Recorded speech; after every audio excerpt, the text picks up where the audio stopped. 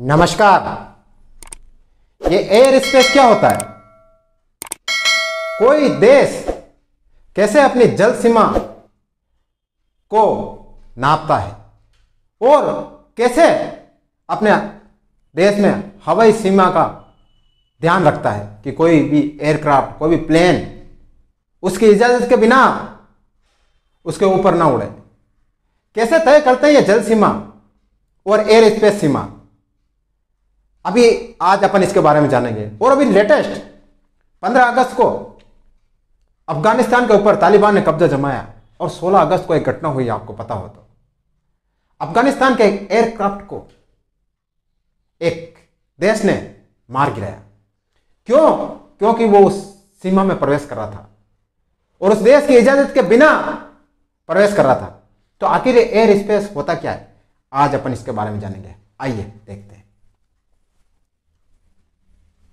क्या होता है? एयर स्पेस कोई देश कैसे तय करता है अपनी हवाई और जल सीमा? कोई सा भी देश, जैसे इंडिया हो गया पाकिस्तान हो गई नेपाल हो गए, कोई भी देश अपनी कैसे तय करता है हवाई और जल सीमा?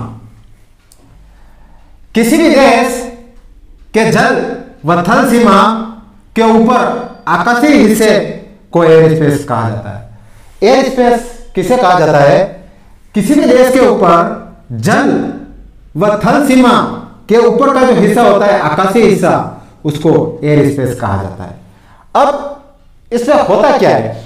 इसमें उस देश का अधिकार होता है कि यह अधिकार होता है कि कौन उसके ऊपर कोई सा भी वाहन प्लेन गुजर सकता है। मतलब उसकी मतलब उस देश की परमिशन के बिना कोई भी वाहन या प्लेन या एयरक्राफ्ट नहीं गुजर सकता है। अब इसका मैं आपको विस्तृत बताता हूँ। देखिए, यह समुद्र है, यह पूरा समुद्र का एरिया अब कोई सा भी देश, और यह है जमीनी तट।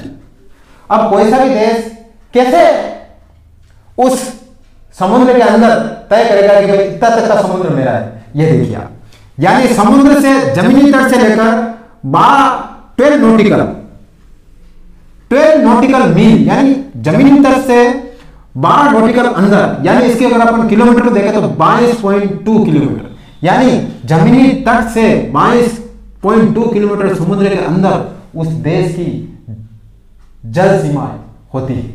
यह आप नोट करना, जमीनी तट से ट्वेल्व नोटिकल यानी बाईस पॉइंट टू किलोमीटर तक का वो एरिया उसका होता है। अब इसी के अंदर देखिए एयर स्पेस किसे कहते हैं? अब यहाँ से बाईस पॉइंट टू किलोमीटर तक का जितना भी ऊपर तक का जितना भी हिस्सा है ना उसको एयर स्पेस कहा जाता है।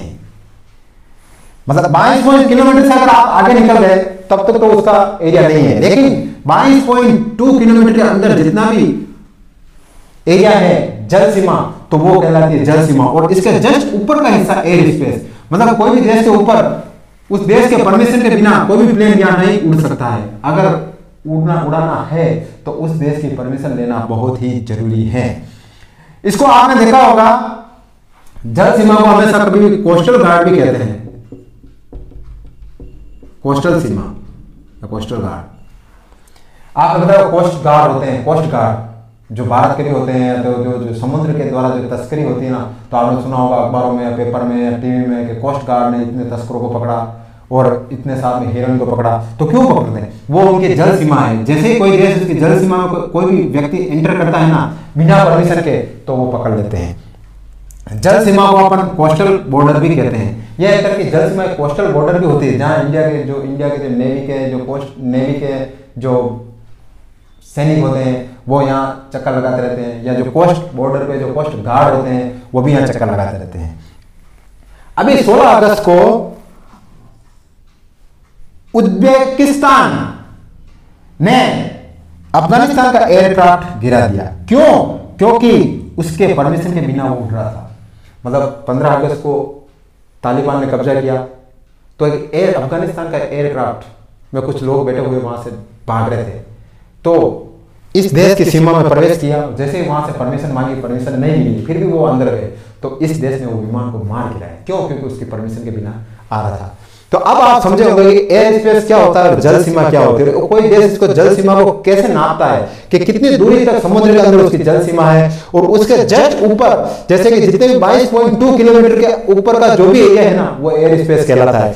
अब जमीनी तट का तो स्पेस तो आपको पता ही होता है कि जमीनी तट के ऊपर जितना भी एयर स्पेस होता है वो उस देश का होता है लेकिन जो समुद्र के अंदर का जो एयर स्पेस कैसे नापते हैं वो ऐसे नापते हैं बारह नोटिकल मील यानी बाईस पॉइंट टू किलोमीटर के ऊपर के जितना भी एरिया है ना उसको एयर स्पेस कहा जाता है और बाईस पॉइंट टू किलोमीटर के अंदर के अंदर समुद्र के अंदर जमीनी तट से जितनी भी सीमा है वो जल सीमा कहलाती है उसको कोस्टल बॉर्डर भी कहा जाता है इसी के साथ आज ही मेरा वीडियो आपको पसंद आए लाइक करें कमेंट करें शेयर करें और मेरे चैनल को सब्सक्राइब करें ताकि आने वाले वीडियो की नोटिफिकेशन सबसे पहले आपको मिलती रहे। ऐसे ही नॉलेजेबल वीडियो में आपके लिए आगे भी लाता रहूँगा।